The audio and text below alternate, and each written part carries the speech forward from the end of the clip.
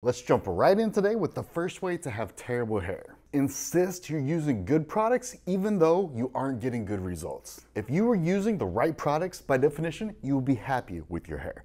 This is what I like to call ex-boyfriend syndrome. When we're young, we all have that first boyfriend or girlfriend, and at the time, we think they're amazing. They come from a good family, they understand us the way nobody else does, and we're gonna marry them because there's no way we could ever find anyone else who's good on the entire planet. But now, looking back years later, we're like, I'm not sure what I ever saw in that person. That's kind of embarrassing. I can't believe I even dated them in the first place. It was impossible for you to ever have proper perspective because you just hadn't seen that much of the world yet. And hair is the exact same way. You probably think your products are amazing. You probably think your tools are amazing, but how many have you really tried? I've tried a lot and I really recommend you check the description for my link of recommended products. Another great way to have terrible hair is don't put anything on it after you get out of the shower. So you just washed your hair, you just got out of the shower and you're like, do I want good hair or do I want terrible hair? You're like, let's do terrible hair today. The best thing you can possibly do is not put any product on your hair. Just leave it as it is and let it air dry. It works really well because all the moisture in your hair is going to completely evaporate. The conditioner you put in your hair, all that moisture is going to be completely gone and your hair will be super dry. You'll love it.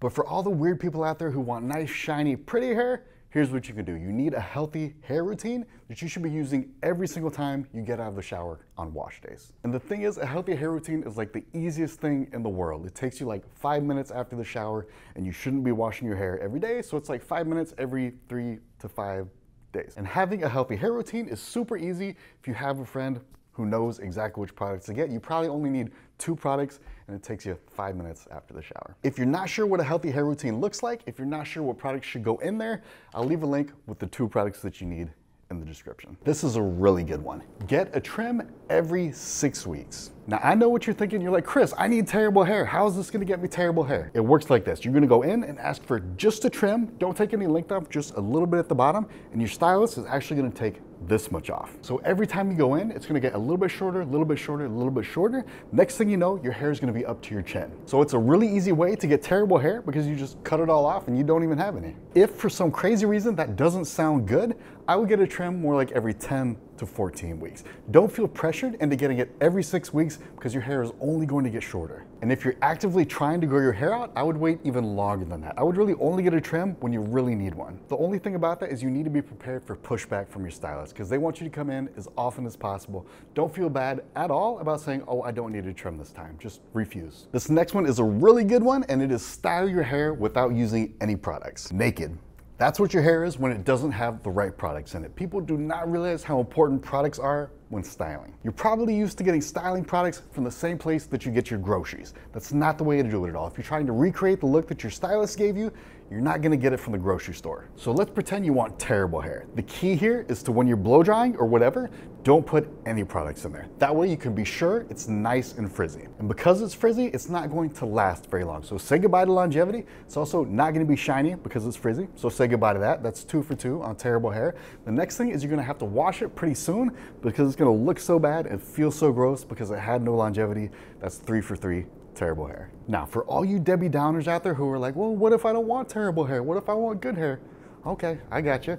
You just use a regular blow dry product when you're blow drying. You should have heat protection built in. Any good one is already going to have heat protection built in. And then when you're using an iron, you're just gonna use an iron heat protectant. Those are really the only two products you need for styling. Listen to people with genetically perfect hair. This is one of my favorite ones because it's so easy to get trapped in. There's some people out there who are just genetically gifted with perfect hair. They can do anything, use any product, style it in any way, and their hair is still going to look amazing because they basically won the genetic lottery. There's nothing these people love more than making video tutorials on stuff like Instagram and Facebook because they really do have amazing hair. They have full face makeup, they have a selfie light, and really watching it, the whole whole thing is just glorious. But here's the thing, nothing in that video is going to help you at all because you don't have one in a million hair. The reason it doesn't work for you is because they can literally do anything. They can use mayonnaise as a hair product, put it all over the hair and it'll still look amazing. So if you want terrible hair, go in your bathroom and get your iron or whatever tutorial that you're watching and copy it exactly as they were doing it themselves. And it's not gonna work out at all. It's gonna look terrible, which is exactly what you're going for, so easy. But if for some strange reason you want great hair, and no judgment if you want great hair, what you should really look for is somebody who had mediocre hair and then got their hair to be amazing. Somebody who had to struggle and learn bit by bit to actually get that amazing hair instead of somebody who was just born with it. The next way to have terrible hair is to wash your hair just once with dollar store shampoo. What is dollar store shampoo? That's shampoo that you get at CVS or Walgreens or the grocery store, Target, places like that. So you're at your Piggly Wiggly getting some milk or Pop Tarts or whatever you want, and all of a sudden you decide, ooh, I'm gonna try and recreate that look that my stylist did. She made my hair look amazing. You are right on track to have terrible hair because I guarantee you your stylist did not buy hair products at the Piggly Wiggly. They're low quality products that will not remove the gunk and buildup from your hair, and because of that, all your other products aren't going to be able to work because your hair is coated with oil and buildup. The other products can't get up in there to actually attach to the hair and get the reaction that you want. And I know this isn't the video, but if you do want good hair instead of terrible hair, you should really try professional products. You'll be shocked by how differently your hair will feel. It'll be much cleaner and all the products will be able to go right up on your hair, adhere to it, and give you all the results. Constantly touch your hair up with an iron. This is a really great way to get terrible hair. Your hair wants to be lazy. The last thing it wants is every single day get poked and prodded by a 400 degree iron. Let me tell you something I call the hair iron death spiral. And yes, I know it's a little dramatic, but follow me on this. It works like this. You do your curls in the morning and then later that night you're like, oh, I need to touch them up. You wake up the next morning, you're like, oh, I need to touch them up. There's no way to use an iron every day without doing damage. And over time, the damage builds up and it gets even harder to get your hair to look good. So what do you do? You actually have to use even more heat to get it to look good. And more heat means more damage. And more damage means you have to use more heat to cover up the damage. And you can see where it's a spiral. Amazing way to have terrible hair. So if you want terrible hair, it's a great way to do it. Or if you don't want terrible hair, the key to doing iron work without doing any damage is, of course, use heat protectant, but really wait at least three days before touching your hair with an iron again. And the next one is let your hair air dry first and then try to style it. Most people don't understand this because they don't realize that water is the key to styling hair. Water creates styles and water destroys styles. Hairstyles are held together by bonds and water breaks those bonds. That's why when you get in the shower, your style is instantly gone. That's why your hair frizzes when you get in the humidity. Water breaks the bonds in your hair and kills the style. You probably already knew that, but the reverse is also true, and here's the interesting part. Whatever shape your hair dries in, the bonds are going to form in that shape, so it's gonna wanna stay like that. That's why a blow dryer works. Your blow dryer dries your hair in a particular shape, and that's why it looks so different than it does when you air dry your hair. So when you go in and try to style air dried hair, the bonds are already formed. The shape is already there. So when you try to go in with a blow dryer or whatever you want, you're fighting against nature and it's gonna wanna go back to whatever shape it was dried in.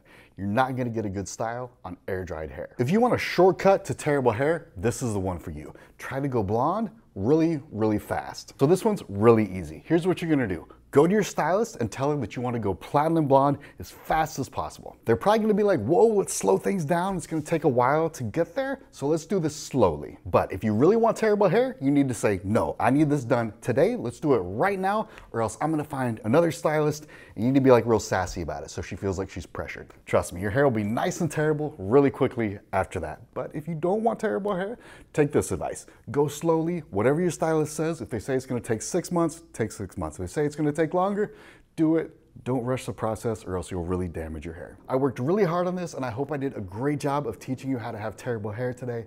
If you want any of the links, they're in the description. If you have any questions, leave a comment and I'll make sure to get back to you. Thanks guys.